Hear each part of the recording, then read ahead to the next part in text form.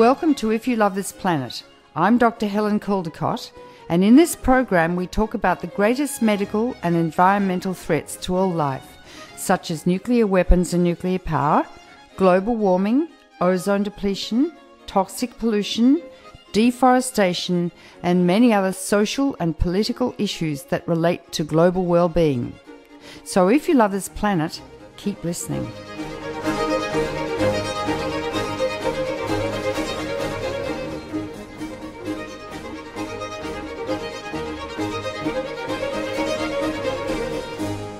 Hello and welcome to If You Love This Planet.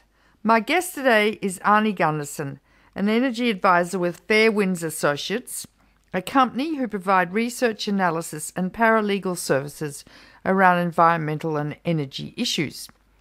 An independent nuclear engineering and safety expert, Arnie provides testimony on nuclear operations, reliability, safety, and radiation issues to the Nuclear Regulatory Commission, to congressional and state legislatures, and government agencies and officials throughout the US, Canada, and internationally. Arnie Gundersen has been a leading voice globally about the impact of the Fukushima nuclear disaster, and he joins us now. Welcome again, dear Arnie Gundersen. Hi, thanks, Helen. Thanks for having me. Well, um, we will first do Fukushima. Um, I want you to bring us up to date now on what is currently going on there about radiation releases both to the air and to the sea, um, and your prognosis for the future about what is going to happen there. So let's start at the beginning. What's happening now? Okay. Well, let's um, let's talk about um, the condition of each of the the reactors. Reactor 4 remains the most tenuous, and that's the, when you look at it from the water, it's the one furthest to the left. Um, it's the reason it's tenuous is twofold. One, it doesn't have uh, any containment at all over its fuel. The other containments may be broken, but this fuel has no containment. And on top of that, there's a full nuclear core of hot fuel in the pool. So what happened in the last month was, um, for a period of a couple days, the pool ran out of cooling water, and um, the, the cooling pump failed, and then the backup pump failed. Got to remember, this is jury rigged stuff, so so uh, uh, none of it is, uh, is is seismic or anything like that. But anyway, both pumps failed, and the pool started to heat up at 10 degrees Celsius or or you know 18 degrees Fahrenheit a day. That's high, now, isn't it? Yeah, you know, it, it starts at 30 degrees, so it's got to get to 100 Fahrenheit um, in, I'm sorry, centigrade in order to boil. So it had about seven days before it began to boil. But, you know, if you see in the pictures, this is an enormous pool.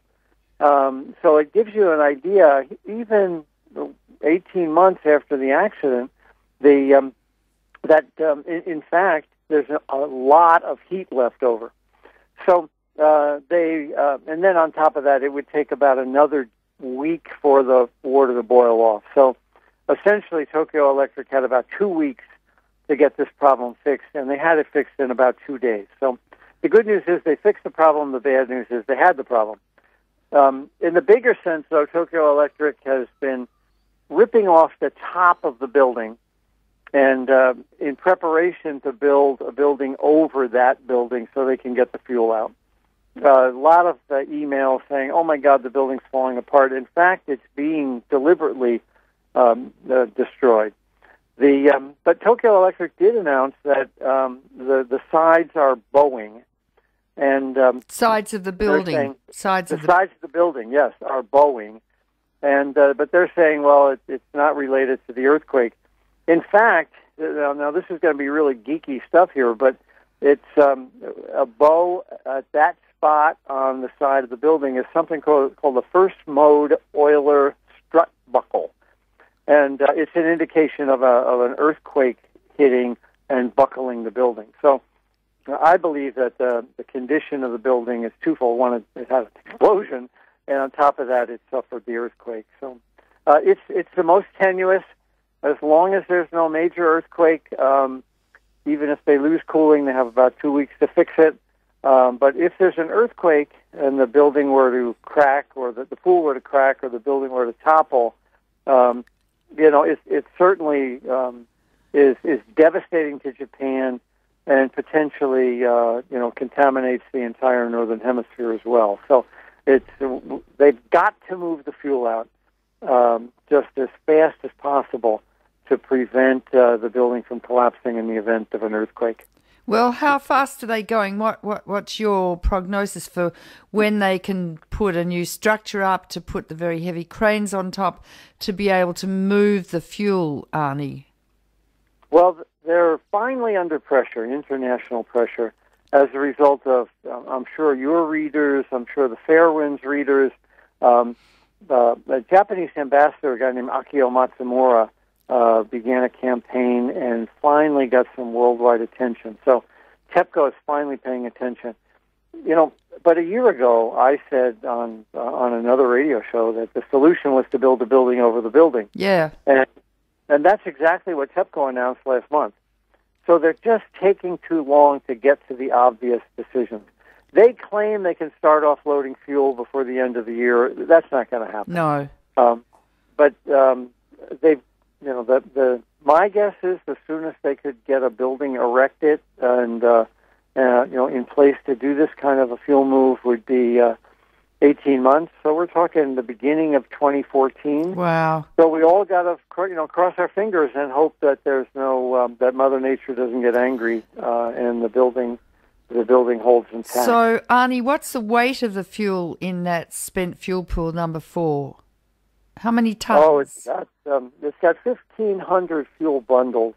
And, and how many how many fuel rods in each bundle?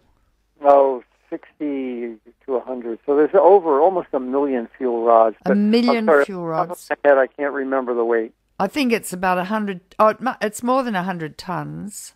Yes, I know it's more than 100 tons. Yeah. And it's and it's uh, it's a hundred feet above the ground, isn't it? On that damaged yes, correct, building. Correct. And if it goes down, it will release um, about 10 times the amount of cesium itself as was released from Chernobyl if, if the pool burns. Is that correct? Yes, the fear, once the fuel becomes uncooled, without water in contact with the fuel, it will heat up and the, the zircaloy clad will burn. And at, at that point, um, you know, there, there's no science out here. This is uh, something that no one ever anticipated could happen. There's a Brookhaven Labs report that says that um, well over 100,000 people would die and and 40 or 50 square miles would be contaminated. Um, it would be actually worse in Japan um, because there's more fuel and um, and the fuel would be lying in a lump at the uh, on the ground. So uh, it's a place where science would prefer not to go, and let's hope that Mother Nature agrees and doesn't put us there. Well, you know, this um, interview is not going to be played for a few weeks from the taping, but yesterday there were two earthquakes, I think near there of 4 and 4.5. On the Richter scale, they're not very big, but the ground is still very shaky around there, isn't it? Yes. And the way the Richter scale works is for every 10 earthquakes out of 4, you get one 5. And then for every 10 5s, you get one 6. And for every 10 6s, you get one 7. So we're, we are getting a few sixes as well in the area. So that means that on the horizon is a seven, and uh, if um, if the plant were to be hit with a seven, um, uh, not 50 miles away, but near the plant, mm-hmm. um, the uh, the structure would uh, would likely either the pool would buckle or the building would collapse, and uh, both of those are things we none of us want to happen. Well, and the other terrible situation would be Arnie that the whole complex would have to be evacuated. So, therefore, that could lead to a cascade of other dreadful events. Is that so? And would you describe them? Yes. Um, actually, it almost happened here in the United States. Um, Dresden 1, which was a reactor that had been shut down, um, had a uh, it was shut down and mothballed, and they forgot to turn the heat on, and the the pipes froze, and the pool started to drain uh, they estimated that within another day they would have lost all the fuel pool cooling water. And, and within the NRC report, they talk about lethal radiation out for 100 yards. So if you if that Dresden 1 experience gets extrapolated to Fukushima Daiichi Unit 4, Um, if if it were to dry out, there would be lethal radiation for uh, over a hundred meters, which means that Fukushima Unit 3 becomes uninhabitable and likely Fukushima Unit 2 becomes uninhabitable. So the concern is that the, the, the gamma radiation flying off from this fuel would make the site so so radioactive that the uh, people would have to withdraw, and uh, and you'd have you know the situation in Unit Four repeating itself in two, three, and one. Um, that's you know that's that's really low probability, but it's it's certainly plausible based on what happened here in the states on Dresden Unit One. When did that happen at Dresden Unit One? Um, in the 80s, um, it uh, the, the unit has been shut down and mothballed, and um, um, a night watchman was walking around, and it was cold. You know, they had turned the heat off, and he had um, with his flashlight he found uh, 60,000 gallons of water in the basement that hadn't been there the day before and um, um, he reported it, and they found the pipes had frozen, and uh, the pool was uh, had lost sixty thousand gallons of water. Gosh. So it was a close call. It's one of those close calls you don't hear about very often. Though. Um, and Dresden is in Illinois, right? Yes. Yeah. Okay, so let's get back then. You described Building 4, Unit 1, Unit 4. Let's uh, go systematically through the other situations uh, currently existing at Fukushima. Yeah. The most interesting one scientifically and the most frightening one, too, is Unit 2. They, they put a probe down, not inside the containment, but outside the containment in a building called the torus Room. And they they found water in the Torus room, and uh, the water was highly radioactive, a thousand R an hour, which you, know, you and I know is lethal within half an hour. It's, it's, but but more importantly, they lowered the probe further into the water, and the um, and they found when they got to the bottom, it was perhaps a thousand times higher than that. Good God! And uh, good God is right. And so what the um, what the conclusion is is that fine pieces of nuclear fuel mm-hmm. have escaped the containment and are lying as a powder on the bottom of the Torus room. So we're not talking a meltdown where it's all concentrated in the middle and it's going into the water table, but these fine pieces have settled out and, and are lying on the bottom. The only thing that can account for exposures that high is, is high small particles of, of nuclear fuel that have um, um, that have settled out as the as the water um, the water calmed down. But is so, uh, are they in water? Uh, these... Yes, they're underwater. Yes, they're underwater. Okay, but they're lying on the concrete, and of course, um, you know, I've always been saying that there's also some downward migration of the water into the water table. So it's a concern to the water table. Uh, it always has been, but this is just one more indication. You know, the big question is how the heck do you decommission something like that? Know, 20 or 30 years from now, this radiation is still going to be yeah. a hundred times lethal. Lethal, level. yep. So, yes. So I think they get to the point where, you know, they throw some concrete over the top of it and come back in 300 years. So this is uh, um, not something that I can figure out how one would um, would clean up. You might just uh, be better off from the personnel exposure to um, to seal it and and wait for it to decay in three or four or five hundred but years. But Arnie, where did these particles come from? Because the fuel's melted, is it in Unit Two? Um, and it's in a sort of corium mass. You know, how did all these particles get to the bottom of the torus, which is a donut-shaped? Uh, they actually escaped the torus and that's that's what's fascinating. The torus is still part of the containment. Oh. These are outside the containment in the torus room, which is a building that surrounds that donut. Oh. Um, so yeah, in Unit Two, it's quite clear that the torus, the junction between the torus and the and the what we call the dry bulb, the, the dry part of the containment, failed, and so there's been a breach of the containment in Unit Two, and um, um, so it, it seems like as they as they flood the containment, um, that water becomes in contact directly with this fuel because the Ah. fuel rods have disintegrated, and it gets carried out and deposited on the floor in the building next to it. Now, is Unit 2 where they had the MOX fuel with plutonium, or is that Unit 3? Unit 3 had the MOX fuel, but Mm. it only had 30 bundles of MOX fuel. Uh, But the, the more important thing on the on the plutonium is that all of the reactors had plutonium in them because all of them had been operating, and of course the uranium 238 becomes plutonium 239 when it absorbs a, a neutron.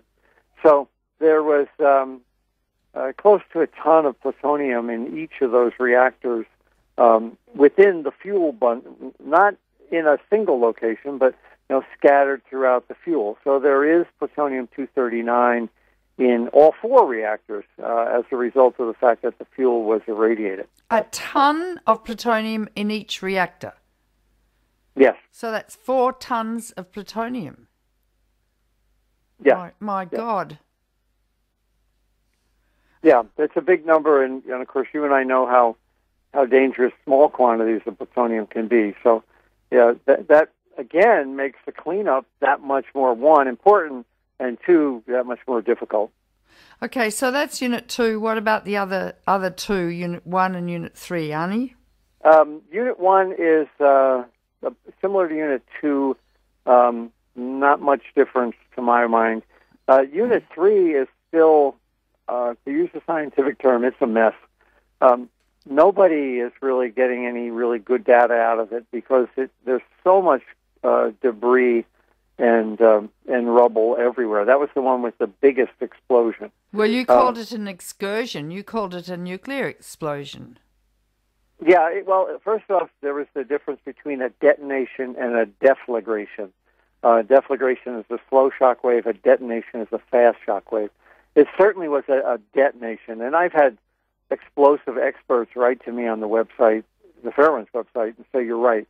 Don't give up on that. This was an explosion. Don't let the Nuclear Regulatory Commission uh, sweep it under the A rug." nuclear explosion. Well, that's it. The second issue is what could cause a detonation, and um, um, because of the location and because of the fact that that few pieces of nuclear fuel were found off site, um, it indicates to me that the fuel racks were lifted up, and um, the only thing that could cause that is something called a prompt moderated criticality.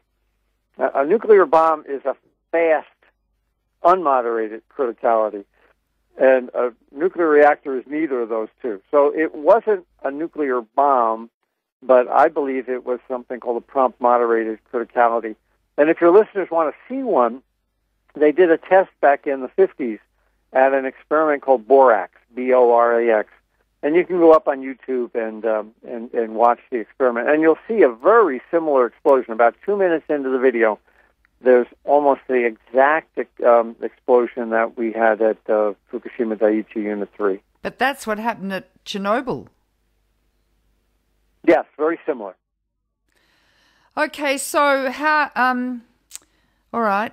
So thing, things. Now, are- you're- s- sorry. This all got this all got started by what's in the air and what's in the water. Yeah. Um, there's there's not a lot in the air. Um, you'll you'll see those reactors steaming still. They're giving off gas. Unit one, of course, has a cover on it, so most of the gas is captured. Units two and three don't. So whatever uh, steam is coming out of the building is carrying some radiation. Um, nowhere near what happened in the first week, month, et cetera, but there is some radiation going out airborne.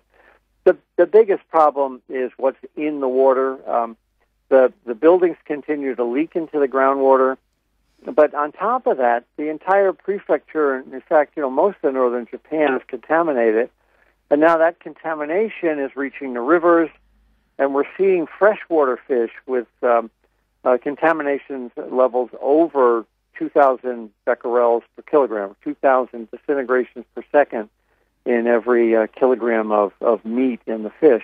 That's freshwater fish.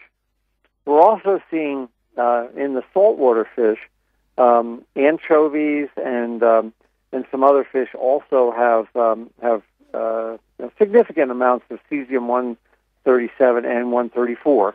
So we've got the signature that we know it came from Fukushima. And of course, those are at the bottom of the food chain.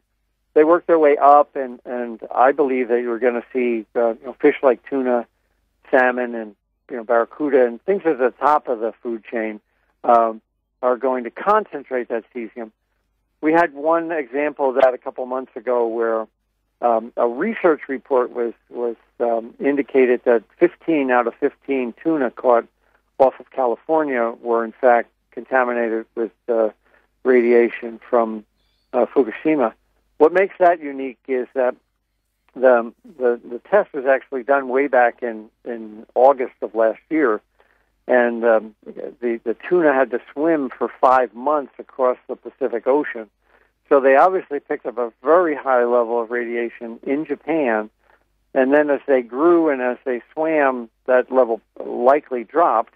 And yet, by the time they got to the west coast of America, five months later, they were still, you know, they were still contaminated with both cesium-134 and 137. So I think we're going to see that. You know, for for years to come, uh, we're going to see contaminated um, fish in the Pacific and freshwater fish in Japan.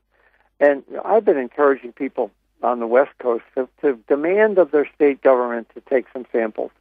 Um, and um, because the U.S. government is not taking samples. And of course, what samples are being taken, um, if it's below uh, an arbitrary number, the, the, the authorities are not announcing what that number is. I'm sure the, the authorities have caught fish and they're contaminated, and they, it, to avoid a public health scare or more likely to avoid a, a, a business collapse in the fisheries, uh, they're not telling people what the number is. Is the radiation high or low? I don't know, uh, but uh, know, I'm sure they're detecting it in, um, in in fish, even on the west coast of the United States. Yeah. Well, what they say is it's don't worry about it, it's below levels that you need to worry about. And that's an absolute lie because, you know, if you eat some cesium in your fish and it gets into your brain, you know, just a, a, a small amount, very small amount, or into your heart muscle or into your pancreas or wherever, uh, that cesium stays in your body for a long time. So, therefore, the surrounding cells receive an ongoing dose of radiation, beta radiation and gamma radiation, which will mutate the genes in the cells, which could later induce cancer. So, what really gets to me, Arnie Gundersen, is that the authorities, even this new report from the diet, on the abnormalities, the human abnormalities in Japanese culture that induced the accident at Fukushima, they only are still talking about external radiation, which means that if you're immersed in a cloud of radioactive nuclides, you'll get some gamma radiation like X rays or from the ground shine, the stuff that's on the ground, and kids are playing on the ground, and the gamma radiation is being given off by the cesium and, and other such nuclides. But they're not, they're still not talking about the stuff that gets into your body in the food, the internal emitters. Do you want to talk about that, Arnie? Because you can tell it makes yep. me very frustrated. Even those people who are extremely well intentioned. Um, are still ignorant, it seems, about internal emitters. Well, I think there's a couple items there. Um, first off, you know, there's this you know, linear non-threshold, so there is no de minimis number below which you're safe. But more importantly, if if essentially it, the data tells me if they caught 15 tuna and all 15 were radioactive, that's a pretty good indication that almost every tuna in the Pacific is radioactive. Yeah, yeah. So while they while there is low concentration, there's a lot of people eating that, so that therefore there will be cancers as a result of this. The other thing is that um, cesium. People are saying, well, the cesium's already decaying away. You know, the 134 has a two-year half-life, and yes, that's good. But the 134 has twice the energy of a 130. Twice the, radiation. Yep, twice the twice radiation. The power. It's yep. got a two a two million electron volt um, uh, decay compared to a one million electron volt decay. So um, the the the 134, while it's around, uh, packs much more of a wallop than a 137. Yeah, but it'll be around for 20 years. You multiply a half life yeah. by 10 or 20, you know, so it's around a long time. So that yeah. argument is yeah. fallacious. Yep. But so I, let's get back to the Japanese that are exposed to this, which is one of the things the diet was talking about. Um, and really, we should talk more about the diet report, the broader implications. Yes. But the, on the dose issue, um, you're absolutely right. You know, people are walking around with a Geiger counter in their hand at waist level. Yep. And uh, if it's relatively low within where background used to be plus or minus, uh, you know, 100%. Um, they they feel like, well, okay, this is the best I can do. I'm safe. But what we're finding, and I'm working with some scientists in Europe on this, um, we're getting house dust from as far away as 100 miles. And uh, people are sending us uh, samples. And, uh, if you're interested in that, you can check on the Fairewinds website, and we can we can put you in touch with that. But people are sending us vacuum samples of the house dust, and um, in Japan. In Japan, yes. In but but still not right um, a couple miles away from the, the Daiichi units, but as far away as 100 kilometers. Uh, and we're finding uh, levels on the on the order of tens of thousands of becquerels per kilogram. What? And in one tens case, of thousands. Case, yes, per kilogram of dust. Now, there's not a lot of dust. You know, it takes a lot of dust to make a kilogram, but still, when you you know if you use an apples to apples comparison, kilograms uh, is, seems to be the standard. We're seeing tens of thousands of becquerels per kilogram in the dust, and of course the Japanese sleep on the floor. You know, at the end of the day, they roll their mats out and they sleep on the floor, so they're where the dust is, and and that's creating uh, you know internal emitters, hot particles, and and more distributed uh, radiation. Um, that these people are um, unaware of. So, um, you know, what what um, uh, what scientists are now doing in, in Europe, and uh, I'm privy to their data, is they're they're getting this material, and um, um, uh, yeah, your reaction was just my reaction. Oh my God, tens of thousands of becquerels per kilogram, and the answer is yes. And if it's on the shoes, it's in the kids' hands, and it's you know in their mouths and all that kind and of their lungs. So, you know, if at the very least the Japanese government owes it to their people to explain how to maintain a house with as little of this radiation as possible. Um, you know, frankly, um, uh, uh, they they are not doing that. They're ignoring the issue, just like you said, of uh, of these internal emitters. Yeah, but it's in the house dust. Therefore, the d- dust in the house comes from outside, so it's all over the ground where the children are playing. It's been blown up in the wind. It's been concentrated in the food that they grow. That's planted in the soil where the radiation is. I mean, uh, it's almost beyond compare. Now let's now talk, Arnie Gundersen, about the report that's just been produced and commissioned by the Diet, which is the Japanese Parliament on the accident, um, they were uh, the commissioners were independent people, some physicists, one a, a doctor specializing in radiation, and others. And I found the report to be very informative um, and extremely concerning. And as I read it, I thought, my God, this could be applied to the Nuclear Regulatory Commission and all the government agencies in America, but more so. So, would you like to talk about the report, please, Arnie, and its implications? Sure. Uh, there's a copy of it on the Fairwind site. You can get them on the web at, in, at other locations. Is that the well. summary or the full report as well? The, the 88 page um, English um, summary. Summary. The full report is over 600, and um, the last I heard, it hadn't been translated yet, but yeah. you know perhaps it will by the time the show goes on the air. The um, uh, so the the diet, the Parliament published uh, a report. Um, I was interviewed by a couple of their members when I was in Tokyo back in in February, and these guys are, are not scientists, but they were you know citizen legislators from from different backgrounds, and they were just very concerned to get to the truth, and there was no attempt to um, to cover anything up. So what the study found is that um, two pieces. One, the Japanese had ample warning, uh, perhaps 20 or 30 years, that a tsunami of this magnitude was likely, and ignored it. Um, mm. And they blamed that on the uh, on the cozy relationship between the uh, the regulator, uh, uh, NISA, and uh, and Tokyo Electric.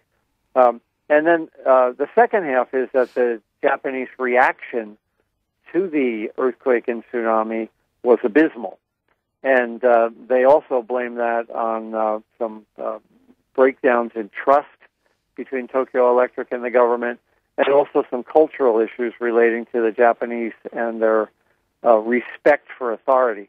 But but I agree with you. You know, the real issue is is um, not to be um, uh, constrained to just Japan.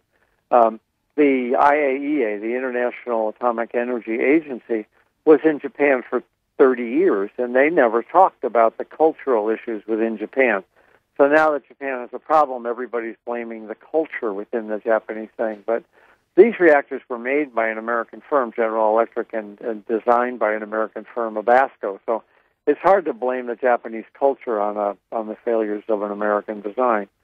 And you're absolutely right. Um, the same thing is happening here in, in America. We've got a captured regulator. Um, congressional pressure on the Nuclear Regulatory Commission resulted in Chairman Jaczko resigning. Uh, Chairman Jaczko resigned at the beginning of July, and um, um, he was under pressure for months from Congress, including congressional hearings about its management style. And finally, he said, "Enough is enough. I'm out of here." Um, so this is an industry, and it's not a Democrat Republican. There's some, there are some good legislators like Ed Markey uh, in the House and uh, Bernie Sanders in the Senate. But by and large, the nuclear industry controls both the Democratic Party and the Republican Party when it comes to nuclear policy.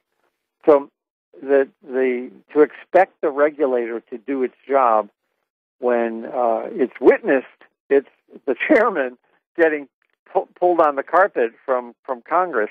Um, I don't think that's going to happen. Uh, the problem starts and can stop at the Congress, and once they demand that the regulator actually regulate, um, we stand a better chance of uh, of, of uh, you know, decent regulation here in the United States. Yeah, but look, let's be frank. The intrigue and the wicked, I have to say, wickedness of the nuclear industry, which don't give one flying goddamn about the people. When you read the report from the Diet, the cover ups of abnormalities that have occurred time and time and time again, or lack of investigation into abnormalities, it's exactly the same in America. I mean, I, I don't know why there hasn't been a proper meltdown yet in America, but it's even more. Uh, what's a word? Not intriguing, but the intrigue and the and the corruption. I think is more profound in America than it is in Japan. Number one. Number two, behind the nuclear power industry, of course, is the weapons industry, and the and, and the association between the ongoing nuclear weapons industry, which is so powerful, and the nuclear power industry, that they're incestuous and they have so much money, which is taxpayers' money, that they shovel into the pockets of all or most of the congressional and Senate uh, representatives. And it's, it's exactly the same as what happened with TEPCO and, and the Japanese government. Uh, I and and what we need to be able to do is to use this report on Fukushima and translocate that in a very powerful way into the American um, cultural climate, if you will, on all things nuclear. Could, would you like to address that, Arnie? Um, yeah, as a as a former member of the nuclear industry, I I can assure you that not everyone is wicked. no, I don't mean that. You know, I was generic. I was being generic. Yeah. Okay. Um, you know, I think uh, it's it's the, the the plants are robust, but that's and and but yet it's really a matter of luck. The Japanese were unlucky, and so far, the Americans haven't had an act of God or a terrorist act that's provoked the same thing that happened in Japan. But but to my way of thinking, it's it's just that the Japanese were unlucky. You know, if you look at the Oconee units, which are in South Carolina, ten miles upstream is a huge hydroelectric dam. If the dam were to fail, a, a wave on the order of 60 feet or you know 20 meter wave would hit the site and cause the exact problem we had at Fukushima. But we assume the dam won't fail, and the odds are that's true. But the odds are you're not going to get a 45 foot tsunami either. So um, it uh, the secret is in the assumptions, and uh, the the plants. What even right before Fukushima, uh, right before the Daiichi accident, I was saying, we should never build coal. We should focus on renewables and and uh, uh, smart grids and distributed power and energy conservation. But if we can't do that, we should go to nuclear. So I was saying that two years ago. And two years but, ago, Arnie, were you? Yeah. So oh wow. That was my out of the world's fallback could be nuclear. I was saying that. And but Fukushima Daiichi told taught me that we are just not smart enough to design something strong enough uh, to anticipate what Mother Nature can throw at us. Um, the, the East Coast earthquake that hit the um, the, the North Anna plant, it was a six. The plant was designed for a six, and everybody's happy. Well, you shouldn't be happy because if a six occurred, that means a seven is likely, and the plant can't withstand a seven.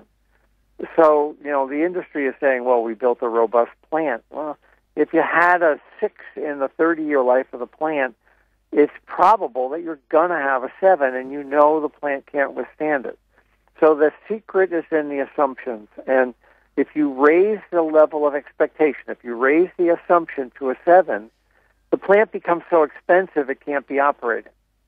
So what happens with the nuclear regulator is they walk that fine line and they don't want to force these plants to shut down for philosophical reasons, you know, and uh, so they um, they don't demand a standard high enough to assure that um, that a that a Daiichi accident won't happen here.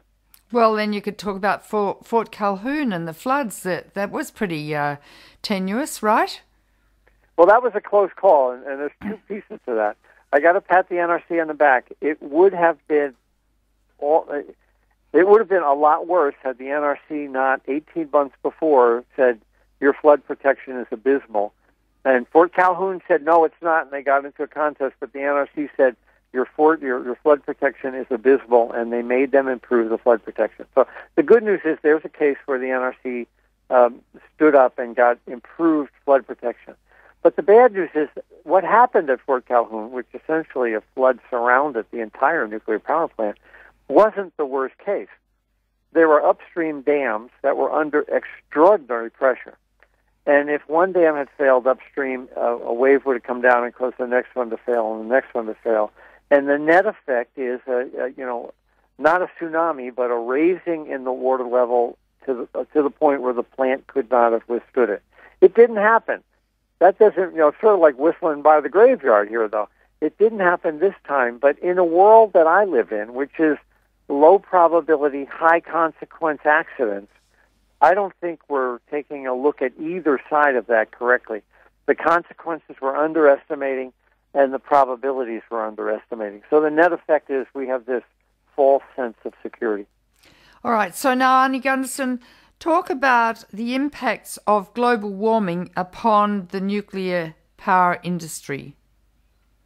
Uh, nuclear plants um, um, per kilowatt, a nuclear plant gives off more heat than a coal plant or a gas plant or any other type of, of power plant. Um, it's something called the Carnot efficiency. Nuclear plants are very inefficient. Um, so, despite the fact that everybody says, well, they're modern technology, in fact, the, the thermal efficiency of a nuclear plant is much worse than a coal plant or a gas fired plant or any other power plant. So, what that means is that they consume an enormous amount of water uh, to keep them to keep them operating. Um, Indian Point uses, uh, which is just north of New York City, uses two billion gallons a day of the Hudson River to keep it cool. Well, with global warming, two things are happening. One is the rivers are warming up. We had a case in Alabama where the Browns Ferry units had to cut their power in half because the the river upon which they cool got so hot that uh, they they were essentially going to fry every fish in the river. Uh, so for the last two years, Browns Ferry in the summer, exactly when the power was needed, had to had to cut back to half power. Three nuclear plants in a row had to cut back to half power. That's happened elsewhere too. So the, one of the impacts of global warming is that the cooling water that they rely on is getting warmer, which means that the plants have to sh- to reduce power at the very time you need it. It happened in France um, a couple years ago in a drought, where the cooling water there wasn't enough of it, and uh, they had to shut down some nuclear plants in France as well, and wound up importing power from their surrounding uh, neighbors. So, number one global warming issue is the um, uh, the day-to-day issue of the river flow is tenuous. Sometimes they're dry, sometimes there's floods like Fort Calhoun, but the but more importantly, the river temperature is bad. The the second problem is that we build these plants with the design bases of a flood, a historical flood. We look back in history for a couple thousand years and we say, what was the worst flood that that, that this area had? But the world is changing. Mm. The you know the likelihood of a um, of a more severe hurricane or more rainfall means that in fact what we thought was the worst flood and maybe we design against that may not be the worst flood for the next 20 or 30 years because you know Mother Nature's throwing things at us that we hadn't expected. Happened here in Vermont. We had them this Hurricane Irene and you know towns that were dry for more than 150 years got flooded out. That's a global warming phenomena, and I think we can anticipate stronger stronger storms, higher storm surges, and more rainfall. So, um, are the plants designed for that? Not based on history. Okay, then what about loss of uh, external power? You know, you're having that, that storm that came from straight from Chicago over to Washington D.C. and knocked out hundreds of thousands of of homes and, and they lost their ele- electricity. You lose your electricity from your reactor and maybe your emergency diesel generators don't start and you've got a Fukushima on your hands. Uh, yeah, it, the it's, it's, interesting. Here's a plant that makes electricity that desperately needs electricity yes. to keep it cool. Yes, and uh, yeah, the the um, uh, uh, we call it the loop, loss of offsite uh, LOOP, loss of offsite power, um, is uh, is a problem. There are two diesels on every nuclear reactor. Some have more that that usually start up. Usually, I was at a nuclear. Yeah, I was at a nuclear plant in the 70s, and we had two, and we we lost offsite power in a hurricane, and we threw the switch, and only one turned on. So the only thing between us and a meltdown was that one diesel. And for six hours, you just pray that it keeps running until we were able to restore offsite power. Um, it's um, it's it's gut wrenching when you're down to your last line of defense. Um, so you know that's uh, but the theory is that the diesels carry you through a loss of offsite. Uh, the theory, power. theory, it's all yep. theory. The other one though is this loss of the ultimate heat sink, which is uh, if a um, if a tsunami or a terrorist act knocks out the cooling water at the ocean. Um, there was a case over in in, uh, in Pilgrim in, in Massachusetts where a, uh, a Norwegian um, sailboat in the middle of the night anchored right off the nuclear plant. Well, if that had been Tim McVeigh in that boat and he had a boatload of high explosives, mm-hmm. he could have caused a meltdown, not because he would have blown the diesels up, but because he would have blown the pumps that cool the diesels up. So the the service water system is vulnerable. The NRC knows this and has it on the back burner. As a result of Fukushima, one of the things they're looking at is the loss of the ultimate heat sink. But it's so far down the road, uh, you know, it's perhaps six, seven, eight years before they ever get to trying to evaluate it. Well, you know, I was in Bobby Kennedy's boat uh, the Riverkeeper off Indian Point a couple of years ago, and it was a clear, quiet day. And Indian Point, each reactor takes in, well, you said uh, it's about a million gallons a minute from the Hudson, and there are two reactors operating there. Um, it was supposed to be protected by the Coast Guard, but we were quite close to the plant, and it was abs- there was no one around, no one. And I, I've written if I'd been Timothy McVeigh, with a boat load full of uh, fertilizer explosives, I could have destroyed both the intake pipes at Indian Point, and within an hour or two, they would have melted, and, and that would have been the end of Manhattan. I mean, it was just a sitting duck. Yeah, this is a problem the NRC uh, is refusing to acknowledge. Really, really. There's, you know, the Navy, when the Navy brings a submarine in, they put these floating barriers around the submarine to prevent the terrorists from driving into the side of the submarine. Well, you could do that off a nuclear plant, except the Nuclear Regulatory Commission doesn't demand that these utilities put these floating barriers around the plant to prevent exactly what you're saying. because it costs money and they just don't want to burden the people who run these plants. Now, then we've got sea level rise and and catastrophic storms in the oceans that are occurring more and more frequently. And many of the reactors, Arnie, have built at, at, at, at sea level. That's interesting. There's a there's a plant down in Florida, Turkey Point, and there's several gas plants and, and, and things like that on the site, and there's two nuclear plants. So it's Turkey Point three and four. The one and two are gas, and five and, and five is gas. But so three and four were built 40 years ago, and they have one storm surge for a um, uh, for the anticipated storm that they thought about 40 years ago. Well, now Florida Power and Light is talking about building two more called six and seven, Turkey Point six and seven. Well, when you look at the new storm surge, it's a couple meters higher than the old storm surge. What is so a storm new, surge? What is a storm surge? Oh, when a, when a hurricane comes in, it's a low pressure, and at the center of the hurricane, the water, the sea level, can be as much as 15 or 20 feet, seven meters higher than um, than outside the center of the hurricane. The eye has a higher water level than the than the sides of the oh, hurricane. Right. So if the hurricane were to come in, the the new reactors realize that the storm surge is going to be really bad. The old reactors were not forced to change, so the old reactors can't withstand the storm surge that the new reactors can withstand. So there's an example of, of, of a double standard. You know, the, the Nuclear Regulatory Commission says, yeah, but they were grandfathered in. We, you know, the, the, what we thought was the best decision we could make back in 1970, you got to live with. And and I'm of the opinion, no. If you've got better science, you change the, the design basis. You make the plant more robust.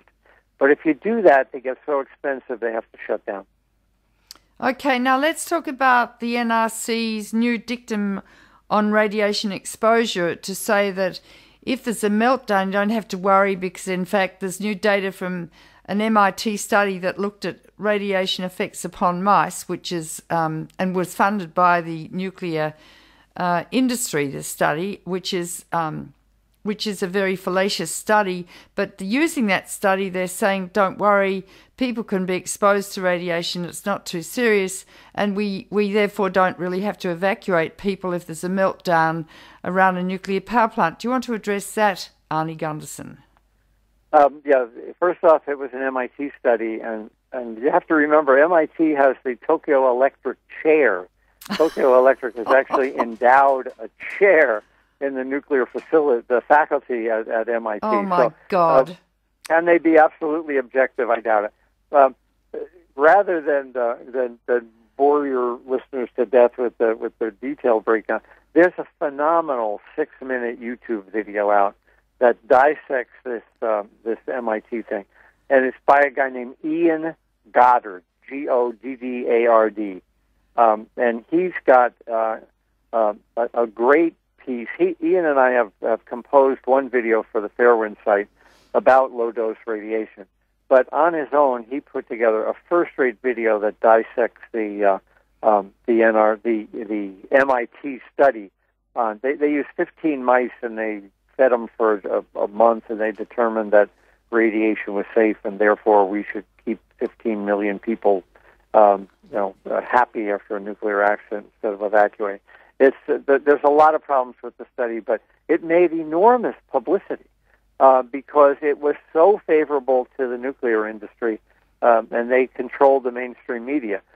So many more important stories that were uh, negative for the nuclear industry didn't ever get the coverage that that one story about the 15 mice uh, did get. And again, it's Ian Goddard, and uh, uh, just a great short six-minute video uh, totally uh, destroys their argument. Okay, well, now talk about how the NRC's extrapolated from that uh, to evacuation orders if there if there's a meltdown. What they've they've gone back on their original uh, study and, and decided that it's really not necessary to evacuate many people at all. Yeah, that's been their goal for years. Um, uh, under one of their chairmen, I think it was Dale Klein, uh, his goal was to eliminate the evacuation plan completely. uh, saying that these plants were so safe they didn't need an evacuation plan. And um, if that's true, I think that's just wonderful. If they don't need an evacuation plan, they don't need Price Anderson insurance either. And if if they if they want to give up the Price Anderson insurance, then we can gladly accept the fact that they don't need an evacuation plan. Of course, they won't do that. You know, the the only reason these nuclear plants are operating is because they have uh, you know public insurance, Price Anderson nuclear insurance. Um, so they want the best of both worlds. They want uh, the the public to insure the risk, and then at the same time they want to say, well, there is no risk, so therefore we don't have to plan for it. But you know, Arnie, in the light of what's happened in Fukushima, it just takes my breath away. I, I, the, the stupidity, the wickedness of these people to say, you know, you don't really have to evacuate people if there's a meltdown. I mean, imagine Indian Point when it's melting down, and and and you know all the people in Westchester County, and the sirens are going off, and the people are in their cars in gridlock traffic trying to get to their children at daycare centres and their spouses, and no one can get out, and they're all breathing radioactive stuff from the air and tasting metallic taste in their mouths, and the and the and the radioactive cloud is heading towards Manhattan, and the the tunnels are blocked, the bridges are blocked, no one can get out. You know, I mean, can you imagine? Well, if you look at all the assumptions that go into emergency planning, they they always assume it occurs on a nice day, and all the street lights work, and everybody behaves reasonably and you know, for instance, they assume that you don't go to the daycare center to get your kids. You don't go to the high school or the middle school or the grammar school to get your kids. Buses will come. Believe it or not, bus drivers will volunteer to drive to get your kids out of a high radiation area. And the last thing the emergency plan counts on are you know 700 mothers in their minivans uh, descending upon their their grammar school to personally evacuate their kids. Another example is uh, up at Seabrook, the emergency plan there. Uh, Seabrook has a, a beautiful public beach very near the plant, and um, on summer weekends, as many as uh, three or four hundred thousand people are on that beach, and there's only one bridge off. Well, what the NRC did in evaluating the emergency plan there is they flew an airplane down the beach and counted beach blankets on a cloudy Wednesday. Oh God! And and based on that, they said, "Oh, we can evacuate this beach, no problem." So you know, the the secret's in the assumptions again. When you get realistic assumptions and assume that, oh my God, this might be a tornado that causes the accident, and oh my God, none of the streetlights work, and oh by the way, mothers are likely to panic and go get their kids as opposed to drive in the other direction and wait for the school bus. Um, when you factor in all those human factors, in fact, the emergency plan doesn't work. The other thing that came out of the Diet report, amazingly, was that 80% of the people didn't know that there mm. had been a nuclear accident. So uh, on the day or two after the accident, within you know six six to ten kilometers, 80% of the people didn't know that there was a meltdown occurring, which talks about you know and again in emergency preparedness, the systems designed to warn people failed, or the people who were designed to, you know, who were expected to listen to the warnings didn't understand the warnings. In any event, um, you know, the the the, um, the the assumptions that go into emergency planning are um, uh, are significant, significantly underestimate the uh, the peril of uh, of evacuation. You significantly underestimate in your description how really wicked these people are because, I mean, even a five year old child would say, but mummy, you know, or daddy, of course, mummies would go to the kindergartens and get their children out and to the schools. And I mean, being a physician, Arnie, you have to deal with, you know, really concrete issues. Otherwise, you're going to lose your patient. And I can't help but look at this situation as a physician to say, where are these men's brains? Where are they? Have they parked them somewhere? I mean, they're stupid. That, that, that, it's more than stupid, but they're stupid. You can't assume things like that when you're dealing with the life and death of hundreds of thousands of people. And these reactors are really, they're atomic bombs that don't explode with an atomic explosion. But if they go, it's worse than an atomic bomb exploding.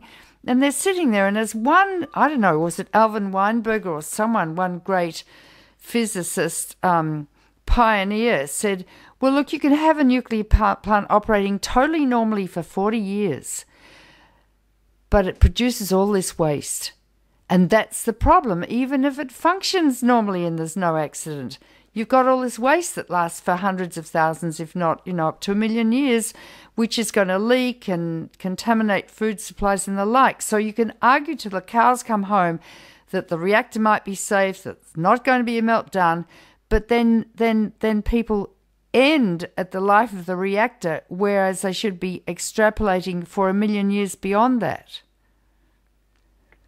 You know, I have um, I, uh, I I believe that people who run them think they're foolproof. Yeah, and they think that Fukushima was the you know can't happen ever again. So, but I, I have a saying, and uh, it's sooner or later in any foolproof system, the fools are going to exceed the proofs. yeah, but then you've you've only gone for the forty years, Arnie. You have not you have not extrapolated to the nuclear waste issue. And as you said, the the the the, the risk is low of ma- a major accident, but the consequences are, are enormous. And you know, Chernobyl has contaminated now forty percent of Europe for hundreds of years. But but once again, I go back to the legacy we leave our descendants, which is the waste, a carcinogenic legacy. Um, yeah, my and I fear as an engineer I worry about when the power plant breaks, what, what can happen, and and I know the probabilities are nowhere near as low as what the, the what the Nuclear Regulatory Commission assumes. Mm. Uh, we're dealing with a technology that can destroy a country. Um, you know, 40 good years and one bad day wipes it all out. Yeah, can destroy a country. Well, on that really happy note, I'm sorry I got. I'm sorry. sorry I got a little emotional, Arnie. But you know how many years have I struggled to save my patients' lives, my children with cystic fibrosis and with leukemia and the like. So I can't help but be a little emotional on account of I love those children, and I know that you know you feel the same way. So look, once again, a fascinating interview. I'm sure that people will in droves listen to this, and we'll get you back in a few months' time for another update. Arnie, if something terrible happens in the interim, we'll get you back before then. All right, Helen, thanks for having me. Thanks, Lovey. Bye bye. Bye bye. My guest today on If You Love This Planet was Arnie Gundersen, an energy advisor with over 30 years of nuclear power engineering experience in the United States. I thank you so much for listening once again. And we'll be back next week with another hopefully fascinating program. Bye for now.